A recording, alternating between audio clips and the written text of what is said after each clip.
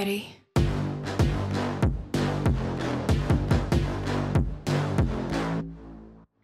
Welcome to another episode of Watch Once Over. Today we're going to be looking at this beautiful Chinese watch called Atelier Wen. This is the Perception, and it is a really, really nice watch. This watch is done up in all 904L steel. And first, right off the bat, it gives me some Gerald Genta vibes. The bracelet reminds me of a, a Vacheron. At first, when I first saw it, I thought it was a Vacheron Constantin. And for what you get for about $3,000, this watch really punches above its weight. It has 100 meters of hermeticity. You have a screw down crown. And you also have this beautiful case back that depicts a stone or an iron dragon. I really like that.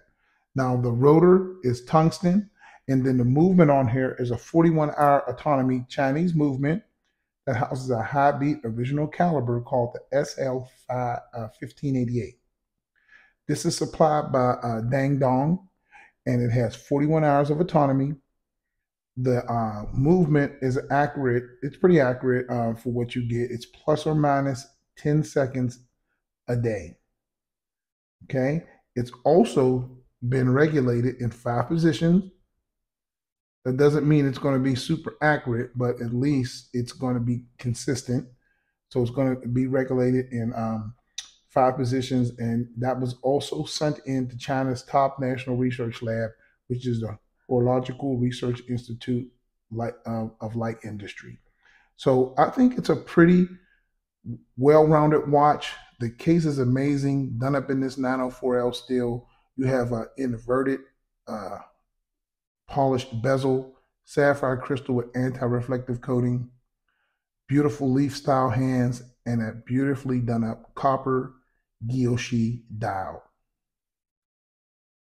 It is made of copper, the dial. Uh, that's hard to do. And what I, from what I understand, this is uh, China's only um, guilloche, hand guilloche uh, person that that can do this. This as far as as far as I know. Now the bracelet is affixed with screws. You have uh, twin trigger deployant, plus you have a toolless adjustment. You just push this logo in, and you can see it moves. When donning or removing the watch, you have this extra slider See that slider? So when you put the watch on, it goes on really easy and closes with a snick. Looks really good. Everything is high quality. And to be honest with you, if this was a Swiss watch, it would probably be three or four times the price. I mean, that's that's just a fact. You get this beautiful uh, guilloche dial. Now, moving in on the dial a little bit, which is the star of the show, like I said, it is a copper based dial. You have that um, Chinese type decoration all around the outside of the edge of the dial, which is loomed. And then you have these beautiful loomed uh, kind of leaf style hands on here. And then just a straight sewing needle type second hand. It's put together real, really well. Um, I wish the logo was loomed, but the Atelier Wen um, dial is is it's honestly really good. You know, I I'm, I do not have any complaints about this watch. Um, I think it is a little expensive uh, for the three thousand dollars because you do have a movement that um, is hand winding but does not hack. Uh, you do have two positions. That is one position for winding and screwing the crown down, and you pull it out to set the time. So that's a good thing. No ghost position.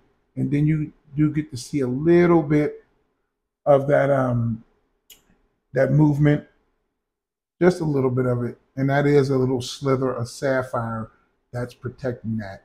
The back is bolt down, and that dragon looks really good.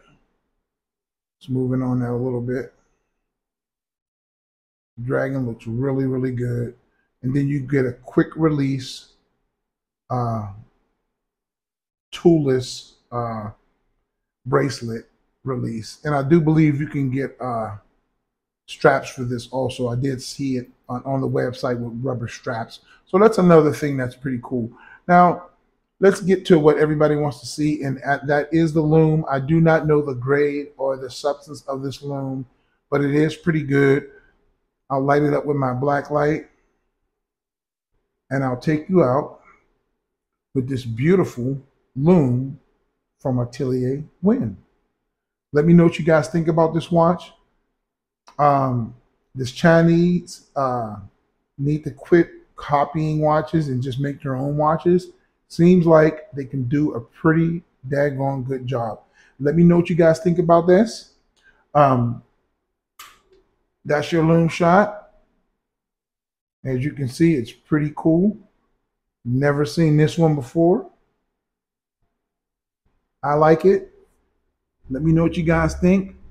That's the Watch Once Over for today. My name is Big E. God bless. And as usual, I'll catch you on the next video.